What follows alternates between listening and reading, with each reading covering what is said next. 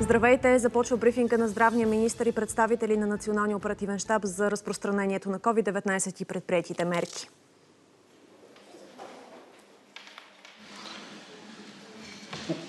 Добър ден на всички! За последните седмици забелязваме и отчитаме една устойчива тенденция за увеличаване на случаите, регистрирани с позитивен тест за COVID-19. Паралелно с това, благодарение на мерките, които действат в страната, които държа да подчертая са с най-нисък индекс на строгост, успяваме да запазим устойчиви места по заболяемост и в Европа. Сравнени мерките в нашата страна са изключително либерални и благодарение на тях постигаме резултатите като темп на заболяемост и смъртност, сравнени с нивата в Европейския съюз. По отношение на ситуацията за изминалото денонощие изследваните проби са 10 163, от тях 4961 са направени с PCR тестове, 5202 са с антигенни тестове, 913 са новите случаи, това са 9% от всичките случаи, 546 от тях са доказани с PCR тестове, 367 с антигенни тестове, 86 са новохоспитализираните, 52 години е средната възраст на новодиагностицираните лица, 29 са лицата под 19 години. В лечебни заведения имаме 3230 човека, 273 са настанени в интензивните структури, 697 са излекуваните, 45 са починалите, 71 години е средната възраст на починалите. Дневната ни заболяемост на 100 000 души е 143.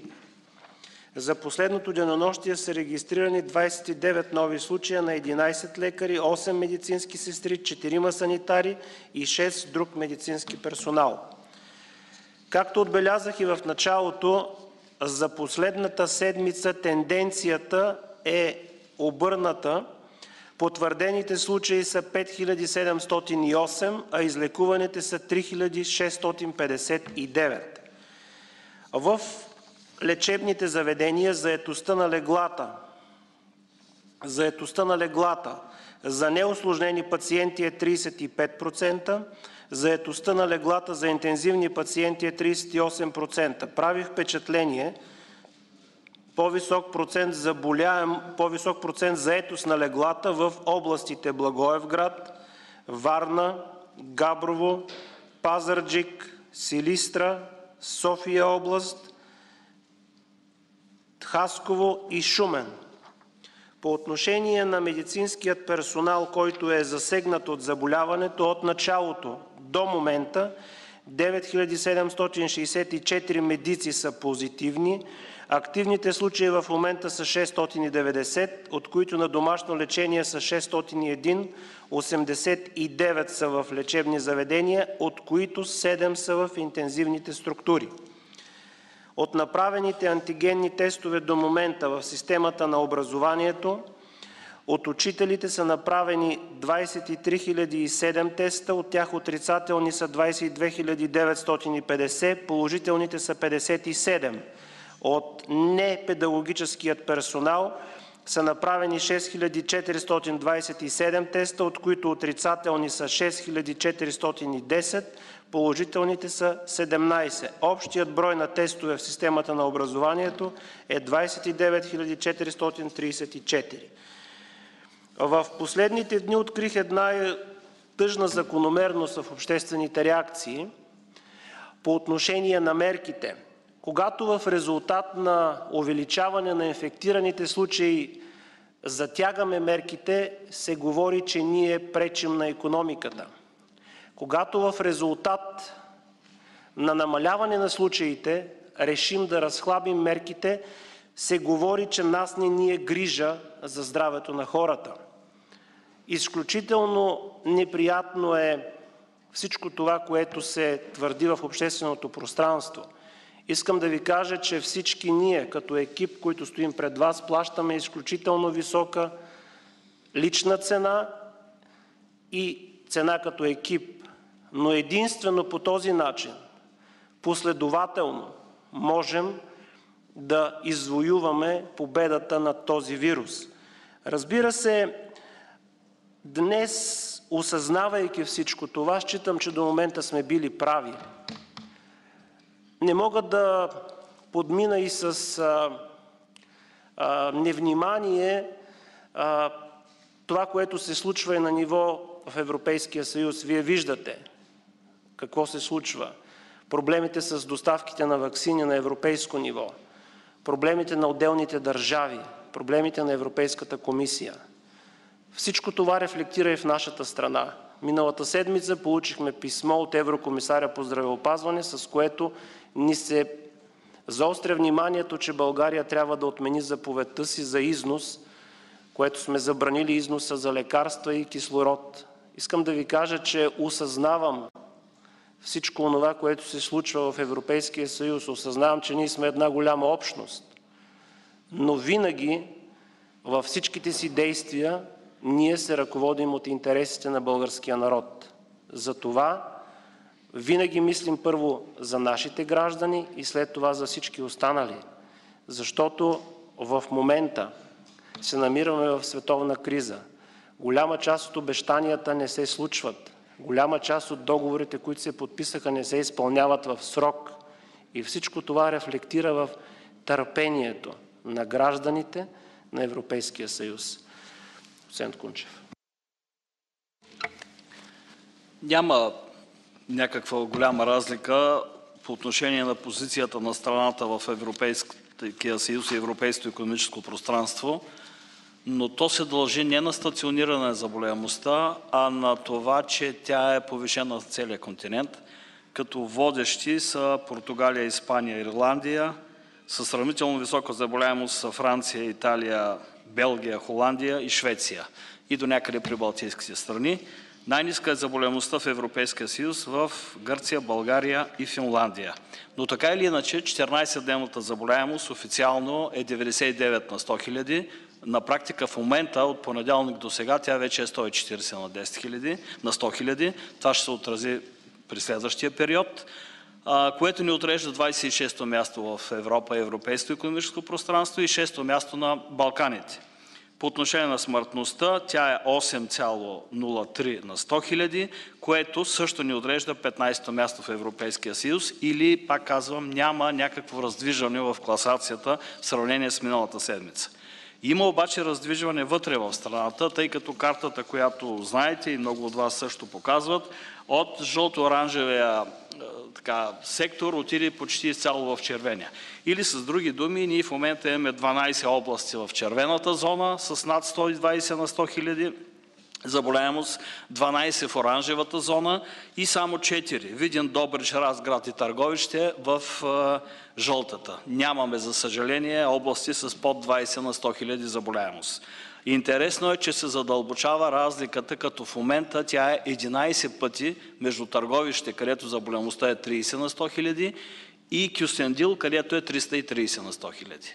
Това е една значителна разлика, само че за съжаление тенденцията не е Кюсендил да стане като търговище, ами обратното. Разбира се, не веднага. Радостното е, че темпа на нарастване все още не е голям, той е постепенен, но е видим не само в София и не само в Кюстендил, а и в другите области. Няма да ви показвам другите таблици, тъй като те са почти идентични. Да, вижда се лекия ръст нагоре, за сега пак казвам, с бавен темп. Той е на лице както при заболемостта, така и при смъртността, така и при хоспитализираните, както и тези настанени в интензивни отделения. Това е като статистика.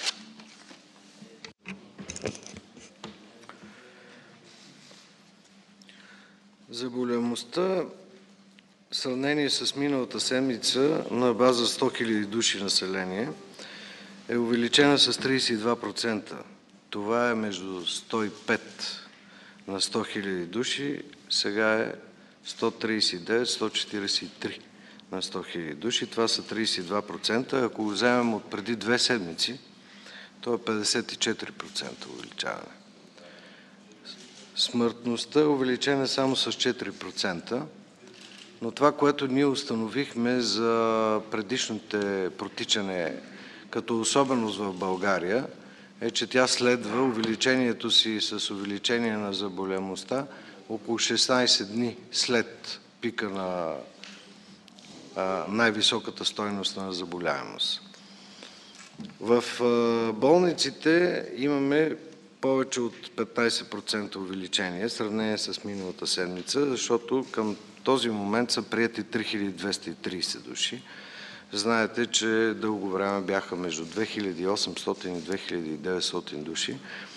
Интензивните структури все още не са толкова натоварени, но и там има горе-долу такава зависимост, каквато е и със смъртността. 273 са към този момент. Това към днешния ден не е особено предизвикателство за здравната система. Министър Ангелов обяви процентите на заетост на леглата, но в някои региони, какъвто е Кюстендил, има почти изцяло са заети двете отделения, особено в Кюстендилската областна болница. Там за разликата между за една седмица само от 12 души е на 74 души. За една седмица. Разликата по приятите болни. Започна вакцинацията вече в третия етап, където влизат и въоръжените сили, критична инфраструктура и заедно с специалните служби. Това първите, които бяха вакцинирани в въоръжените сили, това е контингента, който заминава за Афганистан. Миналата седмица ходих лично на посещение в структурата, в Карловската бригада. Първоначално бяха заявени желания за около 50% от заминаващите 128 човека. Изнесох презентация, отговорих на много въпроси, изключително будна аудитория, интересуваща се и в резултат на което всички, които са не преболедували, са 100% вакцинирали. 7 човека от контингента, които заминават без вакцина, те са преболедували. На практика 100% е защитен контингент, което смятаме за много голям успех, изключителен успех. Амбицията ни е в армията да проведем множество такива анкети с моите заместници от хората от щаба, военния щаб. Сме взели решение да не щадим времето си, а да направим много агресивна кампания, разяснителна кампания, защото хората имат въпроси и имат право да получат отговори на тях. Благодаря ви. Въпроси? Да, добър ден от ПИК. Няколко въпроса. Първия, а, установихме, че в а, Висшия съдебен съвет а, просто е пламнало. 15 души за няколко дни. Магистратите работят много тежки условия, малки помещения, всевъзможни хора минават през тях. Къде ги слагате? В коя категория? Аз за нас даже и не питам. А, другия ми въпрос е, че по наша информация има лекар с ревакцина, който обаче се е инфектирал в болница Софийска. Имате ли информация за това и какъв би могъл да е този случай, защото има един процент, който не изработват антитела под никаква форма. Още един въпрос. А, а, това трета вълна ли е?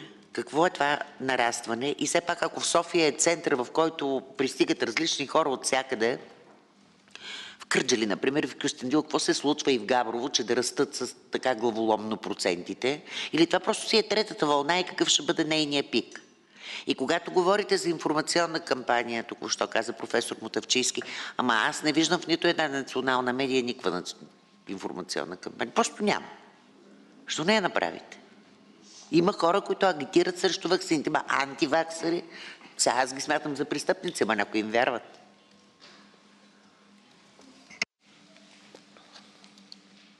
По отношение на Висшия съдебен съвет, те попадат естествено в трета фаза. Това са обществено значими за българския народ и институции. Правосъдието е една от тях.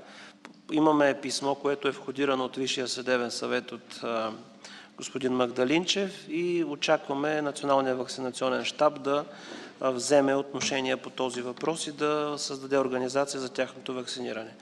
Това, което казахте за ревакцината, нямаме такива данни за човек, който е с сложена вакцина и да е позитивен. Нека да припомня на всички българи, че постигането на имунитет се случва не по-рано от 10-я ден след поставянето на втората доза вакцина. До тогава всичко е въпрос на един риск, т.е. нямаме в света проучване, което да доказва ефективността на имунитета, по-специално неговата напрегнатост на имунитета след поставянето на първа доза на вакцината и по-рано от 10-я ден след извършването на втората доза на вакцинацията. По отношението на третата вълна, вероятно това, което се случва в Европа и в България, е началото на третата вълна. Говоря конкретно за нашата страна. Винаги съм предпазлив от към категорични отговори, защото от самото начало на заболяването до момента COVID-19 опроверга голяма част от нашите отговори, голяма част от твърденията на много учени, както в България, така в Европа и в света. По отношение на информационната кампания не бих се съгласил с Вас. Преди повече от седмица проведох разговор с редакторите и ръководителите на новините на всички национални медии и по-специално бих казал, че в една от националните телевизии от, ня... от две седмици мисля, че вече има рубрика в сутрешния блок, която да касае ваксините. Очакваме такава рубрика да има и в другата национална телевизия. Водим разговори с обществената телевизия. На срещата бяха поканени и представители на Българското национално радио, Българската телеграфна агенция. Стартирали сме изработването на информационни материали, които да бъдат както за, телеви... за подходящи за телевизия, така и подходящи за радио в дълъг вариант, в кратък вариант. Ако направите сравнение с това, което се случва в нашата държава като информационна кампания, сравнено с подобен тип кампании в другите страни, ще видите, че България в нито една от стъпките, които сме предприели, не изостава. Добър ден. Може ли да направите прогноза кога ще започне четвъртата... Не ви чувам. Може ли да направите прогноза кога ще започне четвъртата фаза от имунизационния план? Планират ли се ясни инструкции за личните лекари? Те поискаха, а, например, хората с различни заболявания да е ясно дали за тях е противопоказно имунизирането или не. И също така, във връзка с думите на доцент Кунчев, че има голяма разлика в заболеваемостта по области. А когато достигнат заболеваемост 200 на 100 хиляди, мерките за цялата страна ли ще се вземат или по-скоро на локално ниво, тъй като Кюстендил вече може би седмица е с над тази заболеваемост?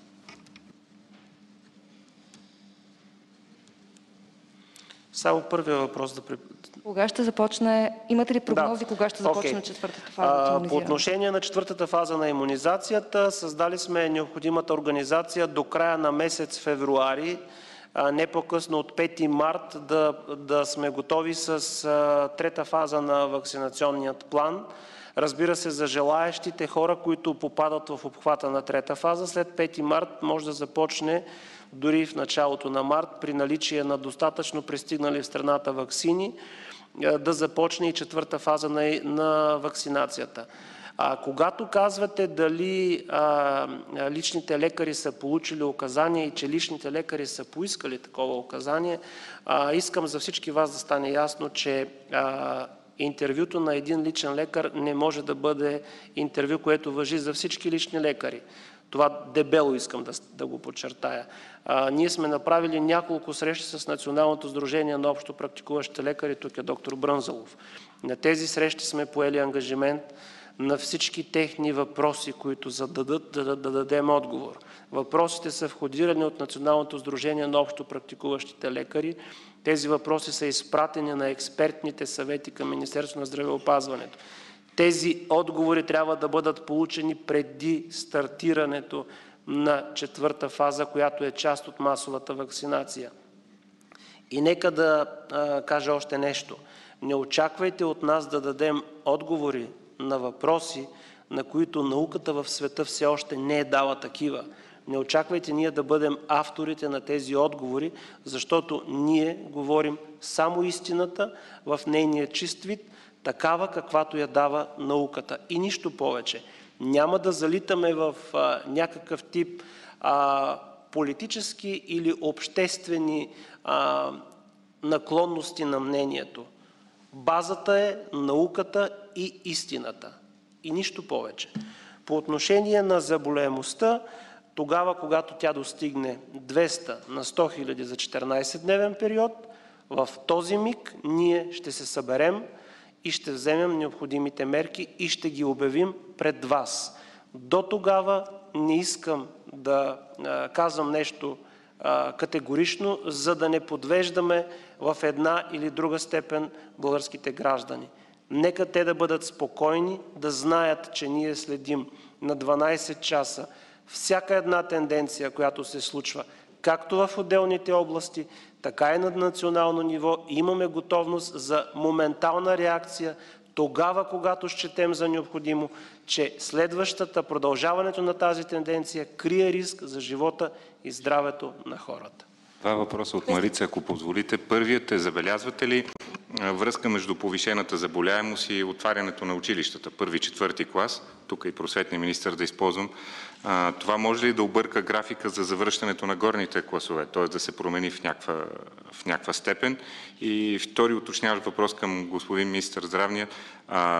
Тази молба или как да я нареча на Европейския комисар по здравеопазването ще бъде ли уважена или ще остане вето за износ на кислород и там лекарства, които са свързани с лечение на коронавирус. Това не го разбрах. Дали ще се съобразим? Благодаря.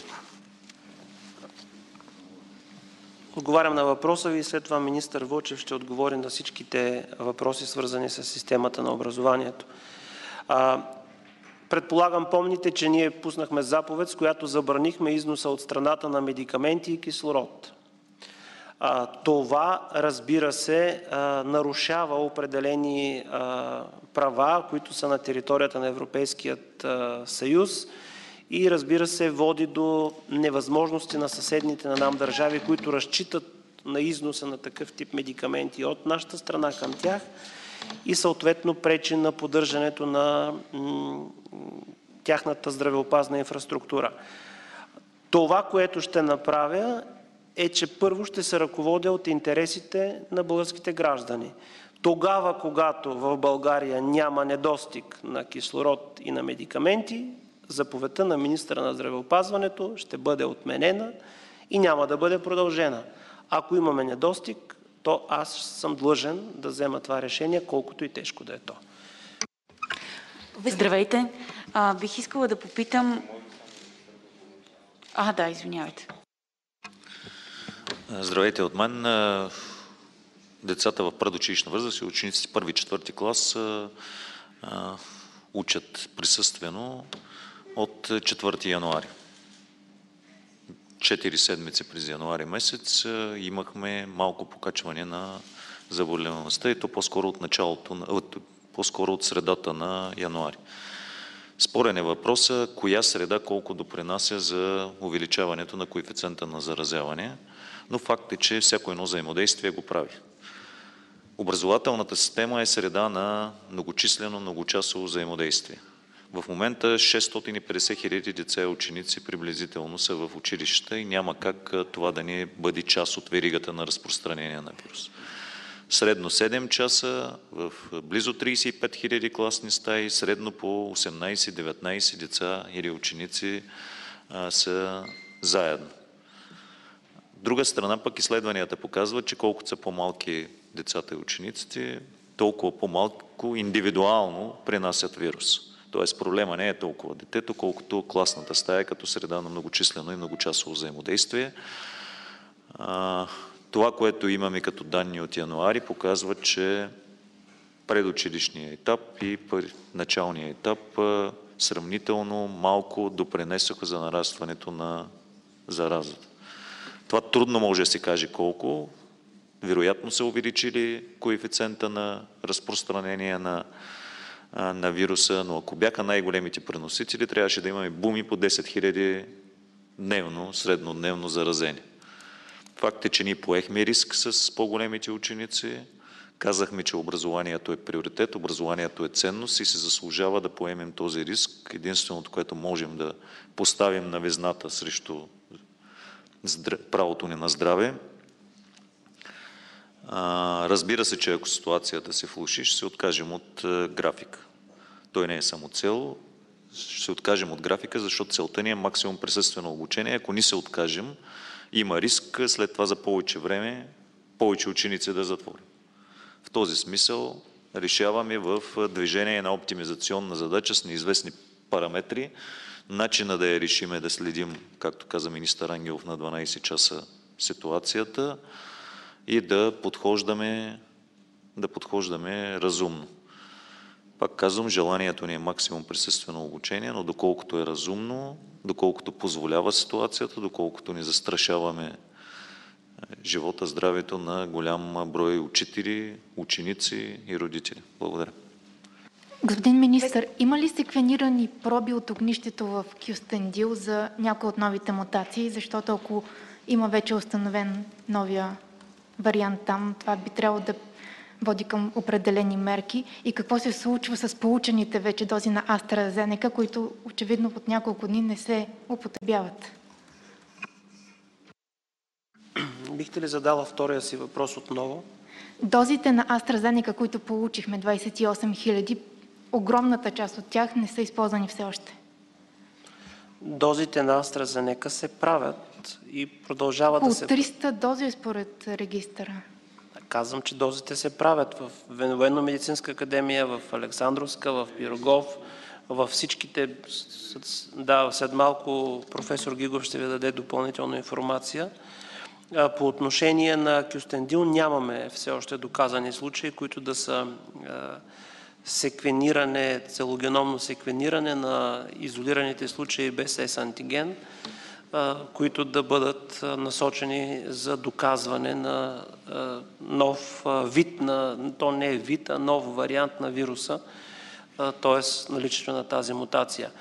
Нещо важно искам да бъде да ви кажем. Вчера проведохме среща заедно с министър Вълчев, с представители на родителските организации. Те поставиха няколко въпроса. Предлагам доцент Кунчев да даде отговор на въпросите на родителите по отношение на антигенните тестове, защото имаше а, така в обществото изключително а, много гласове, които бяха против. И от това, което ние разбрахме всъщност е, че а, а, сме направили комуникационна грешка, като сме подали неправилно информацията към тях или е стигнала по неподходящ начин или сме останали неразбрани. Най-важното в тази ситуация, което а, си поставяме за цел е именно колкото по-дълго да може да се провежда присъственото обучение на учениците в страната. Идват матури, идват кандидат студентски изпити. Най-лошото нещо за една държава е ниското образование на нейните граждани.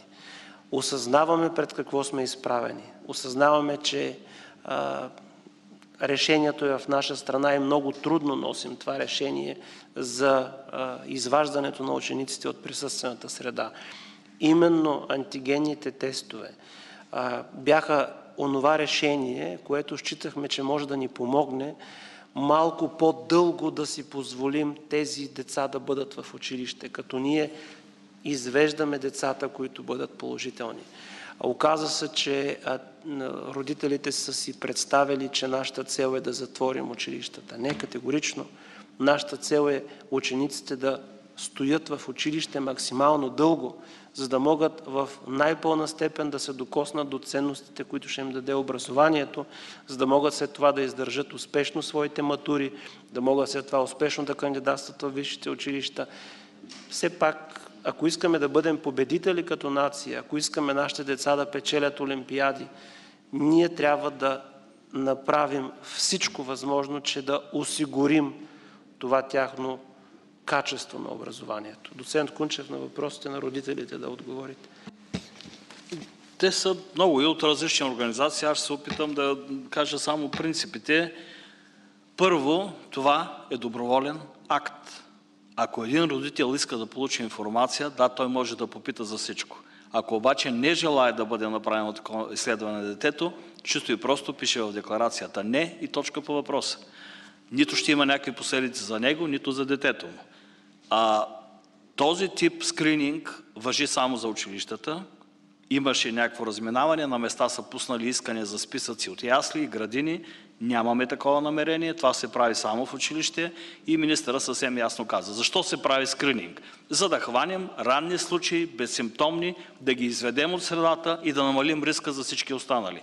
Тези всички останали са както другите са ученици, така и учителите. По същия начин го правим и при учителите. Слава Богу, не е висок процента. И видяхте данните от 20, близо 20 000 изследвания. Но колкото по-рано тези хора бъдат открити и изведени от колектива, толкова по-малка е вероятността в него да възникне епидемичен взрив и разпространение на заболяването. Сега, чисто технически въпроси, един от въпросите беше кой медицински работник го прави. Сега не знам дали искат поименно да посоча кой във всяко училище. Прави го този, който има право да го прави. Това е медицинска сестра или лекар в училище, ако има такъв в кабинета, или пък външен екип от квалифицирани специалисти, които деца казват цял ден точно това правят, вземат проби и много добре знаят как да бръкнат в носа, включително и на едно дете. Да, инвазивен е начина на вземане, да, не е приятен, аз също съм с много силен рефлекс и колко пъти съм бръкнали, толкова пъти кашлям, кихам, не е приятна картинка, но не е нещо, което при правилно манипулиране може да доведе до някакъв здравен риск. По отношение на това, ама защо правите антигени, защо не правите антителни? А защо да правим антителни? За да разберем кой някога се е срещнал с вируса. Това каква толкова информация, освен статистическа не носи.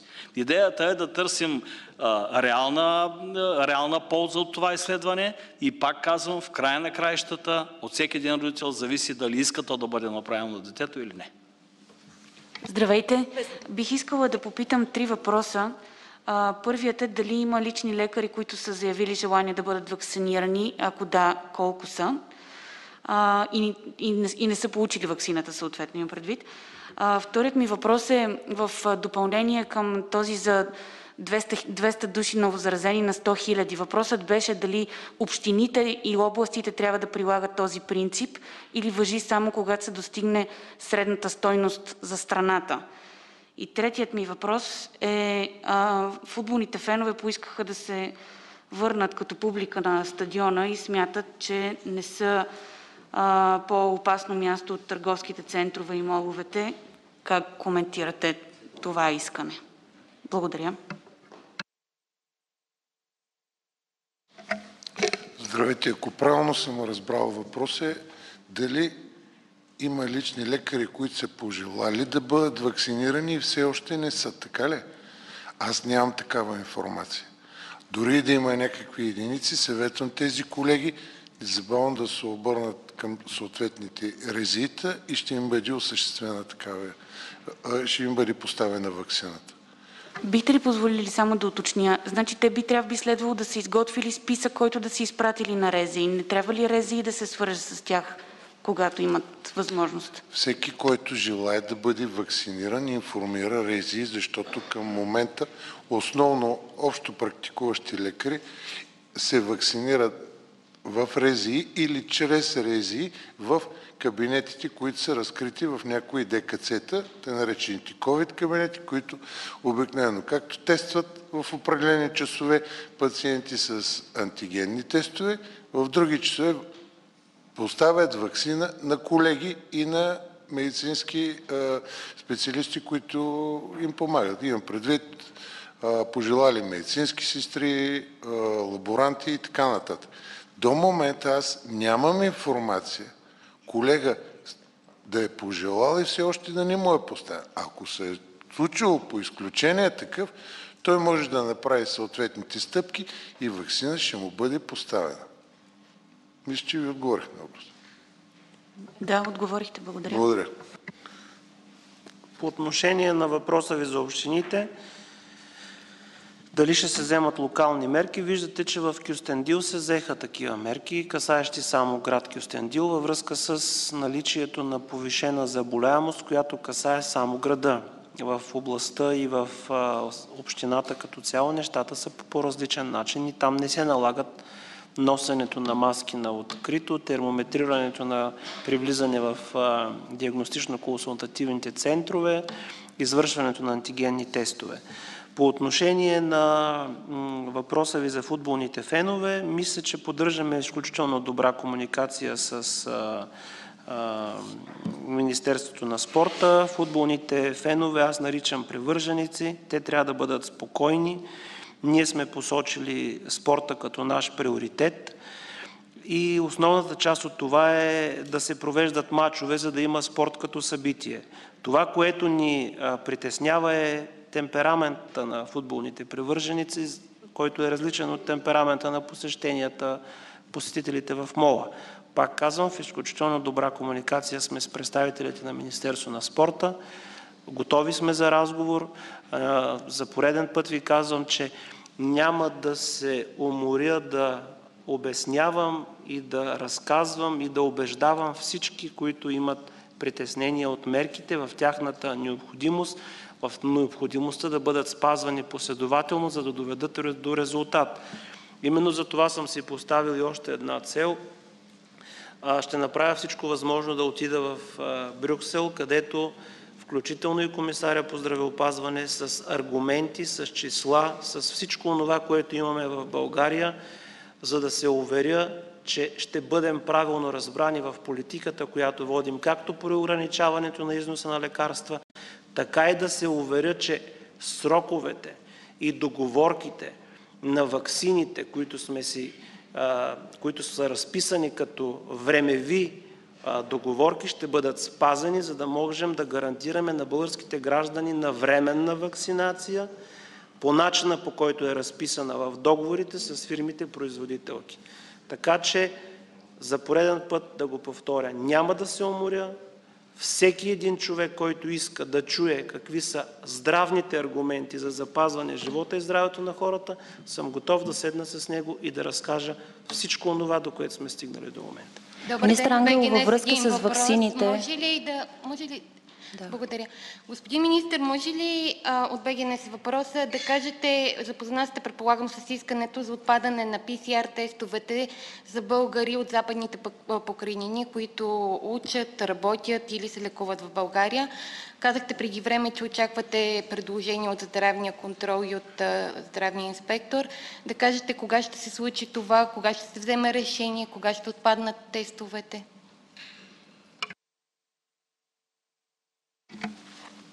Ние получаваме не по-малко от между 15 и 20 предложения за различни групи, които искат изключение от режима на граничен контрол. В случая с нашите съграждани от западните покрайнини то е много обосновано, само че има една много точна дефиниция на а, пригранични работници. До каква дълбочина те са пригранични това са хора, които работят или учат, пътуват всеки ден или минимум веднъж седмично. Това е в международен документ и всички страни го спазват. За тези хора ние сме предвидели такъв режим, който разбира се да не налага всеки ден да правят или пък всяка седмица тестове и те се ползват от това изключение. Ако нашите съграждани от западните покрайнини влизат в този режим, те се ползват от него. Когато обаче е въпрос на пътуване не постоянно, не за работа в България, не за учене, в момента няма как да направим изключение за тази група, защото много трудно може да стане и доказването. Сигурно знаете, че в международните паспорти няма адрес, така че няма как да докажете откъде идва човека и дали той е в тази 30 км гранична зона. Да ви попитам каква колко дози се очакват до края на месец, евентуално от ваксините, защото много цифри се казват. И ако може да ни кажете допълнителното количество, за което вчера става дума, финално колко е?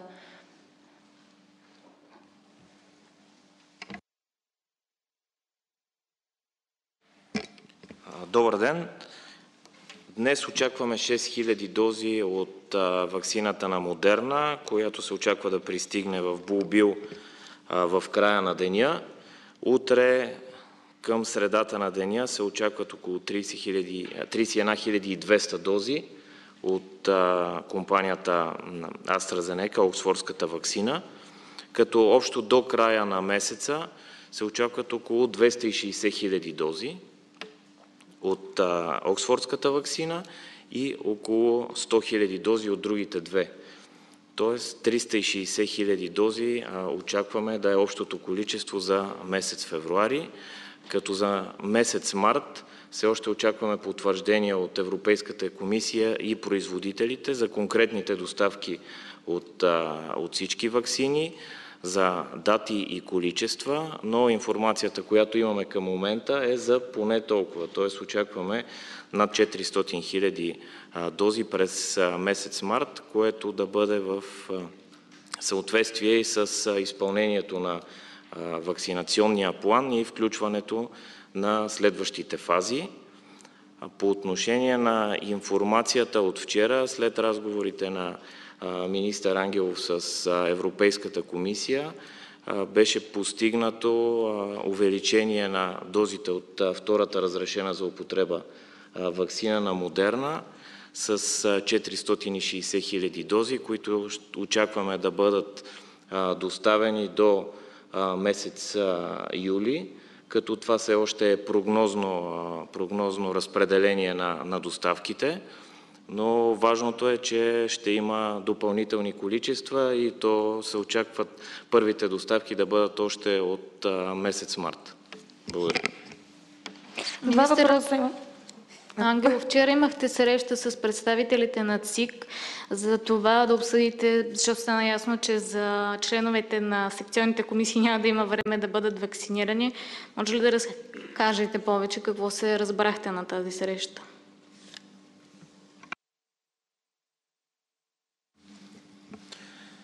Вчера срещата беше по повод медицинския протокол, който е свързан с провеждането на изборите поех ангажимент пред Вас и пред българския народ, че 45 дни преди датата на изборите ще имаме финален документ, който да е медицински протокол за провеждането на безопасен изборен процес. Това ще се случи. Очакваме бележките на ЦИК до края на тази седмица, най-късно в понеделник и окончателният вариант ще бъде представен не по-късно от 18 февруари. В тази връзка имаше е, много големи така, дискусия, която проведохме с представителите на Централната избирателна комисия, която беше изключително плодотворна. Да, изтъкна се проблем, че имаме притеснение по отношение на възможността да бъдат вакцинирани всички членове на секционните избирателни комисии. Разбира се, това не зависи от Министерството на здравеопазването. Ние отправихме един апел, ако могат секционните избирателни комисии да бъдат определени по-рано. Това зависи от закона, пак казвам, не зависи от Министерството на здравеопазването. Написали сме няколко писма още преди тази среща, която имахме вчера с Централната избирателна комисия, с която молим Централната избирателна комисия чрез разговори с парламентарно представените сили, които ще излъчат представители, които по закон имат право да бъдат членове на секционните избирателни комисии, да посочат тези хора максимално бързо, като нашата цел е не по-късно от 5 март да извършим първата доза на ваксината да бъде поставена не по-късно от 5 март, за да имаме време да поставим втора доза на ваксината в рамките на 21 дни и след това да имаме време да се постигне така нареченият напрегнат имунитет, за да може той да бъде ефективен по време на изборния ден, който е в, през месец април. В тази връзка очаквам отговора от ЦИК Очаквам да бъдат посочени членовете на Централната избирателна комисия, които искат да бъдат вакцинирани, членовете на районните избирателни комисии, които ще бъдат назначени, доколкото разбрах, до 18 февруари. А също така общинските избирателни комисии и секционните избирателни комисии. Предвидели сме възможности и за вакцинирането на хора, които да бъдат непосредствено преди деня на изборите, като разчитаме на постигането на някакъв, пак казвам, някакво ниво на имунитет, който ви казах, че нямаме света проучване, което да изследва имунитета след първа игла. Имаше поставен въпрос от Централната избирателна комисия за това дали сме предвидили общинската администрация, която да бъде, която има отношение към изборния ден, да бъде вакцинирана. Да, предвидена е. Също така имаше въпрос дали в изборния ден, тъй като определенето на членовете на секционните комисии става до последния момент, дали в изборния ден можем да извършим вакциниране на член на СИК. Според нас, като експерти, считаме, че това не е подходящо, тъй като след вакциниране понякога се има очаквани реакции. Една от, няколко от тях са типични с типична клинична картина на грипоподобни симптоми, така че това би на практика не би било полезно за този човек, който се вакцинира в деня на изборите. Бихме могли да попречим на възможността за провеждане на нормален изборен процес. Това бяха в най-общ план въпросите, които касаят вакцинацията. Очакваме да се случи всичко на време. Пак казвам, готови сме както с количество вакцини, така и с възможност те да бъдат направени на време. Извинявайте, уточнение ще има несметен брой застъпници и наблюдатели на тези избори, защото тук митови и легенди как ще се фалшифицират. Тях какво ще ги правите, къде ще ги слагате? Въобще обсъждан ли е този въпрос, защото тия залички те са малки? Вижте, обсъждаме този въпрос с Централната избирателна комисия от много време. Протокола, който сме написани, е изключително а, ясен. Там въжат основните противоепидемични мерки. А, сега всичките а, изказвания в посока дали изборите и държат да се наблюдатели, фалшифициране и така нататък, не смятам, че са обект на разискване от Министерството на здравеопазването. Нашата цел е да направим такъв протокол, който да е приложим, който да бъде максимално опростен, който да гарантира безопасно провеждане на изборния процес. Моля ви уточнете, ще ги допускате ли тези хора, защото точно това може да е извор на страшни скандали за недопускане на наблюдатели и застъпници? Това зависи от българският законодател, не зависи от министра на здравеопазването. Благодаря ви много. Приятен ден на всички.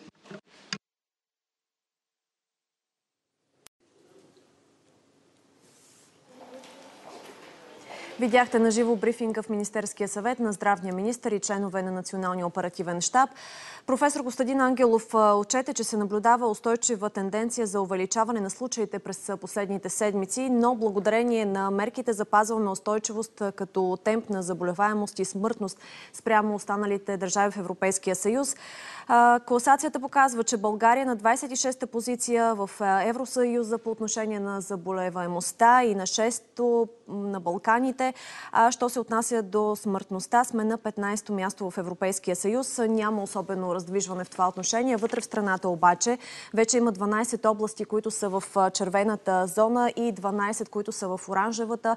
4 попадат в жълтата област. С 12% има увеличение на хоспитализираните. Това също бе отчетено преди минути.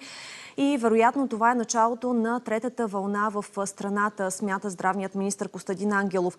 Не по-късно от 5 марта ще бъде готова третата фаза от вакцинацията и ще бъде поставено началото на четвъртата фаза от иммунизационния план.